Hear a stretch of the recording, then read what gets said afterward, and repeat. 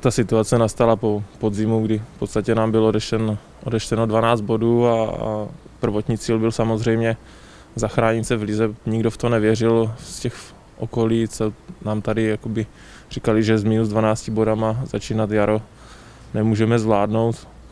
A nám ten začátek jara vyšel výborně, uhráli jsme hodně bodů, dotáhli jsme se na ty nesestupové pozice, ale ten pohár byl braný spíš jako bonus, no, kam to půjde.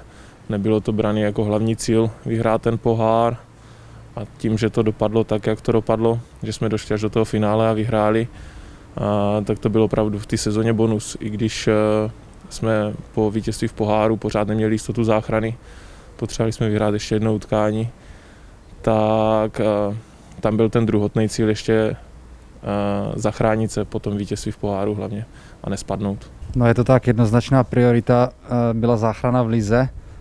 Nikdo si vlastně tehdy ani jako nedokázal jako představit, že by Sigma byla v druhé lize, ale ten odpočet bodů byl, byl výrazný, byl velký, a, a, ale naštěstí prostě ten tým ukázal obrovskou kvalitu a vlastně s tím úvodem toho, toho jara, kdy prostě jsme hráli dobře, hlavně získávali body, tak se to potom pomalu smazávalo a v kontextu potom ten pohár, který eh, sice jakoby byl na vedlejší eh, koleji, ale kruček po kručku prostě jsme se dostávali dál a dál a, a bylo to skvělé. Tak já si pamatuju, ten první domácí utkání bylo s Budějovicema, úplně jarní. Myslím, že to skončilo 0-0, bylo to takový všelijaký, potom jsme přijeli na Slovácko, kde Honza Šulmeister, myslím, dával gol v nějaké 90. minutě nebo 85. A tím se to vlastně celý zlomilo a potom jarou jsme postupovali sbírali jsme body a ten pohár, bylo to něco, jak říct, nevím, za odměnu, nebo jako je odreagování od té sezóny, která byla psychicky hrozně těžká. Myslím, že pro nás, pro všechny ta situace byla o to těžší, že nikdo ne, nezažil ten, tu sezónu, že by se odečítali body.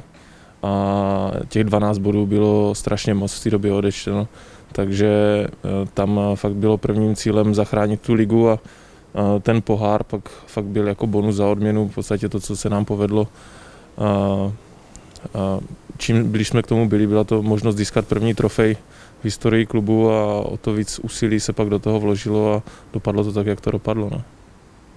No je pravda, že ten tlak byl obrovský, protože fakt, jak jsem říkal, nikdo se nedovedl představit, že bychom prostě skončili v druhé lize, ale všichni byli nesmírně šťastní, že se to povedlo a, a zvládli se vlastně to uhrát na obě, obě ty soutěže prostě e, fantasticky.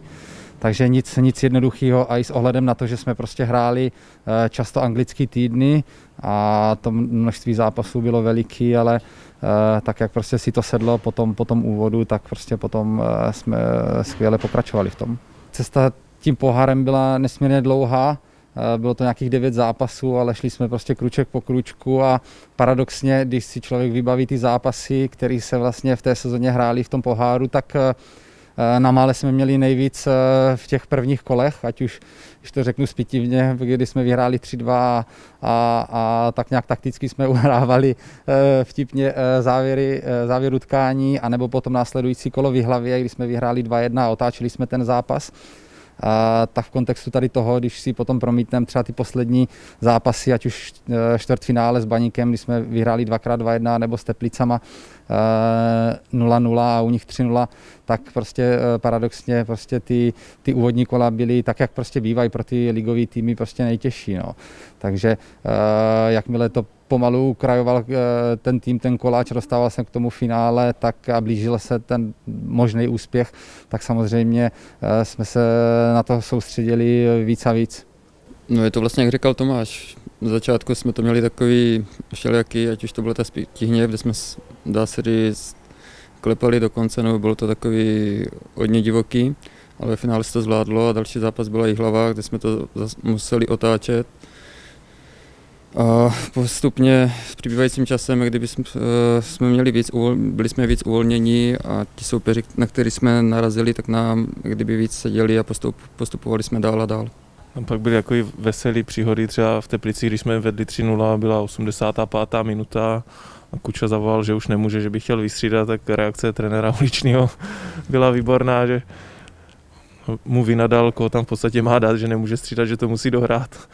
A my jsme hráli za tři dny další utkání, Kuča si chtěl spočnout, takže tam byly i veselé historky, no. Pak trenér, trenéra usměrnili trošku asistenti, že může vystřídat, že to je 3-0, že se nemůže nic stát v 85. minutě, tak ho vystřídal, ale uh, s trenérem uličným tento prožíval maximálně, protože to byla jeho první taková, takový trenérský úspěch, který ho mohl dosáhnout a nechtěl to, nechtěl končit s nějakou kaňkou, že by se sestoupilo, nedej bože, nebo uh, ten pohár, kdyby se nevyhrál, tak uh, pro něj to byla takový, taková odměna za celoživotní trenérskou činnost.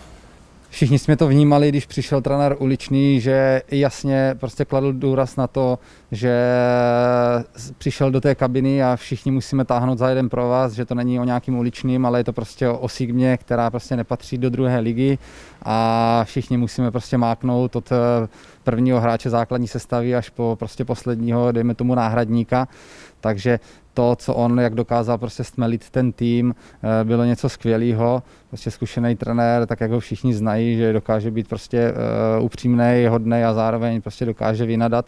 Ať už to uh, je třeba ten Radim Kučera, který prostě v jasném průběhu utkání prostě chce na konci zápasu uh, vystřídat a prostě sjede ho jak malýho Jardu, přitom vlastně je to člověk, který ho má nebo měl určitě nejradši, že jo, jak říká v tom svým prvním šuplíku.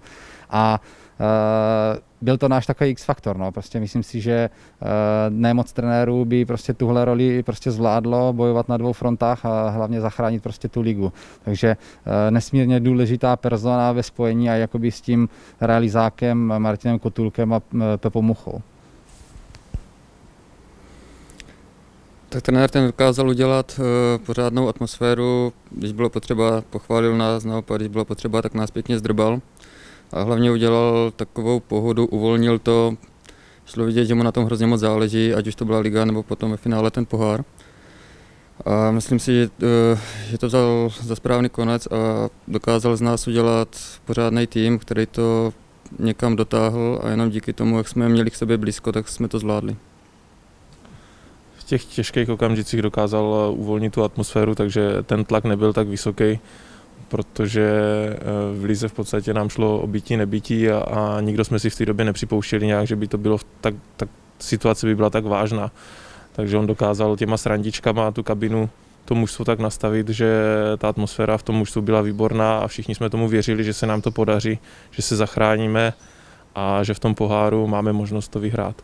A tam byly jako i srandičky a i někdo dbá na tu životosprávu a takový a trenér uličný Eh, při nějaké večeři, nevím, kde to bylo, eh, nám objednal dokonce k jídlu tatarku, jo, takže to je v podstatě myslitelný u spoustu trenérů, že by si hráči dávali s trenérem tatarku. Jo, takže tam jsou takové střípky, které si vzpomínáme, nebo v Turecku, když jsme tady byli mrazy na soustředění a, a přišla varianta, že bychom tam si to protáhli ještě o týden, aby jsme trénovali v teple, tak ten Ruličnej na večeři prohlásil, že jestli tam někdo bude chtít zůstat, takže ho zabije. Takže ta atmosféra v tom týmu fakt byla výborná a myslím si, že to bylo díky trenéru Uličnému. Tak ono to, ono to souvisí s tím, že on prostě věděl, co je důležitý, že jo, a prostě co je podstatný a tak jak prostě na té večeři, předzápasové večeři, kdy prostě sám eh, se ptá kluku, kdo si dá tatarku a kdo si dá kofolu, tak eh, prostě věděl, že tohle nerozhoduje a, a kdo chce, tak si to dá, kdo ne. A ví, že prostě koho to ovlivní v, zítra v zápase, tak si to nedá a uh, nechal to prostě na těch hráčích a chtěl udělat tu pohodu a věděl, že to je priorita, aby ti hráči byli dobře naladěni že když jsme se dozvěděli, že budeme hrát ze Spartou finále na stadionu v Plzni, tak se nám vybavilo ligové utkání proti Plzni, kde jsme vyhráli 4-0, což nikdo nečekal a stadion nám v tu sezonu seděl, takže jsme se těšili.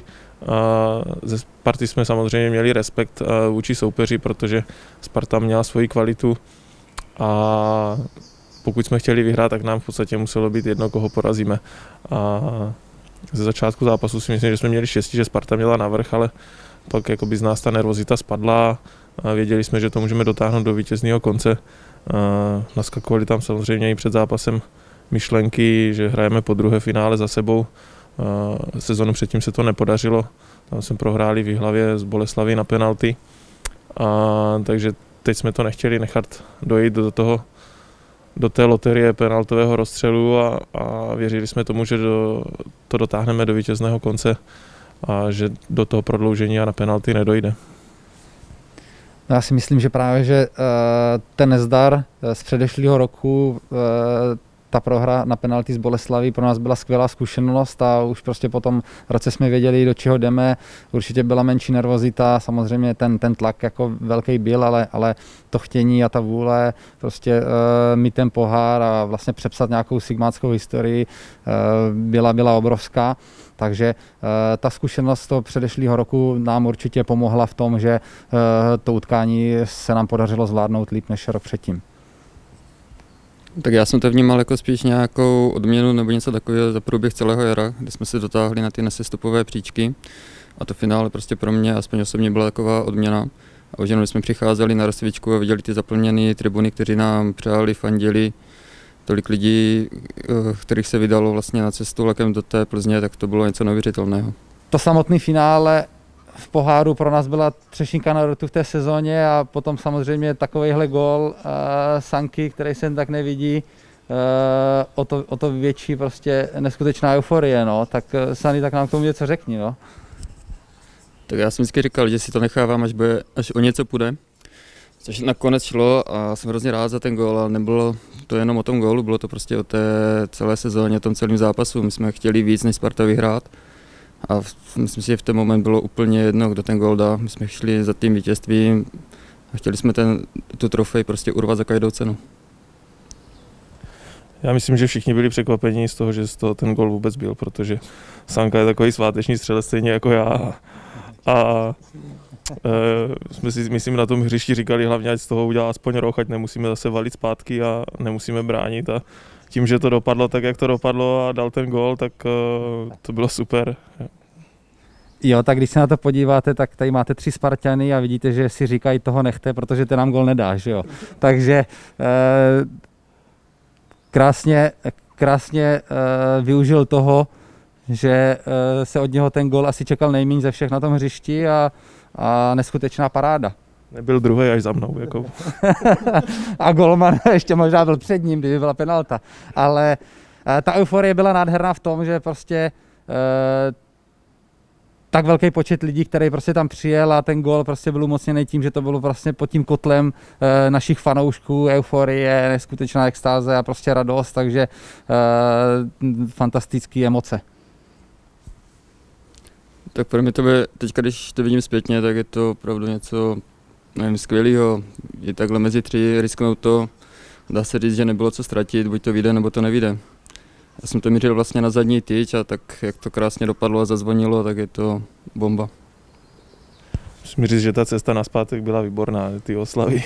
Samozřejmě probíhaly v nějakých omezených možnostech, protože nás čekalo ještě důležité utkání v Lize, nebyli jsme zachráněni a, a kdyby jsme byli zachráněni, tak ty oslavy by určitě byly o hodně větší ale i tak jsme si to užili a doufám, že tu radost zase zažijeme tady na, na stadionu ze zisku nějaký trofeje. No, tak ty oslavy v autobuse byly, řekl bych, tak v takových vlnách. Jedna, jedna byla, že prostě jsme to oslavili, druhá, že potom neskutečně nějakým náročným prostě e, zápase a celkovým období, tak jsme samozřejmě si potřebovali i trochu spočnout, tak jsme se trochu vyspali po cestě vlastně z Plzně do Olomouce a pak jsme jeli největším taxikem do města autobusem, no. Já si pamatuju, že jsme ještě slavili, jsme předjížděli spartanský autobus, tak jsme to tam ještě v autobuse pořádně oslavovali, že jsme jim ujeli i autobusem. A ta cesta byla krásná zpátky, dá se říct vlastně celý ten večer. Dá se říct, že Olomouc patřila nám. Já mám ještě jednu takovou krásnou vzpomínku, když jsme dojeli na stadion, tak tady byli dva fanoušci. Běhli do autobusu a začali vyvolávat Honza Vepřek, takže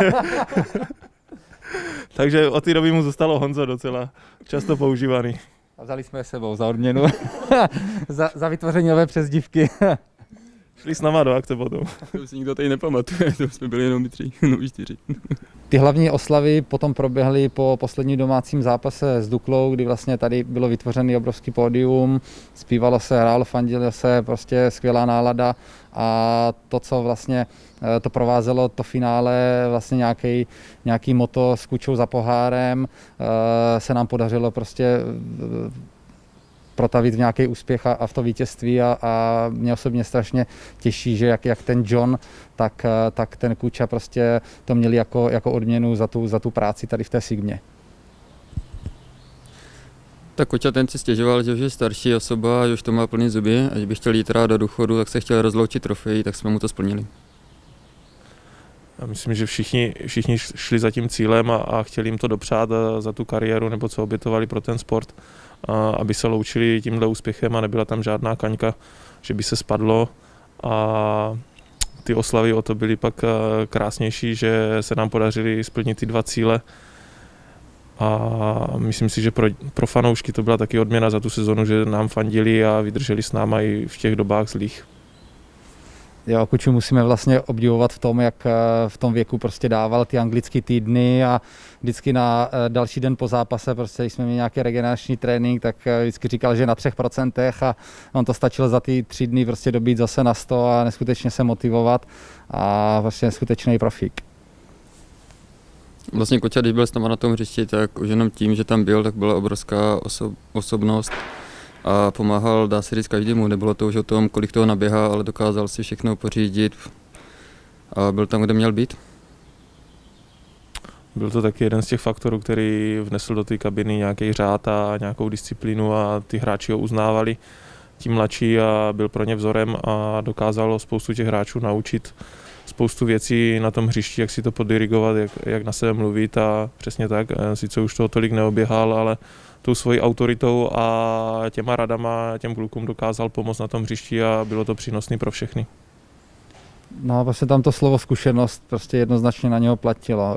E, nejenom to, že prostě to byl člověk, který měl takovou přirozenou autoritu a díky tomu prostě si získal všechny, ale tím, jak eh, dokážel, dokázal být lidský, tak e, si myslím, to byla jeden z těch hlavních jakoby, e, věcí, která, díky které se nám podařilo prostě takhle válet celý, celý to jaro.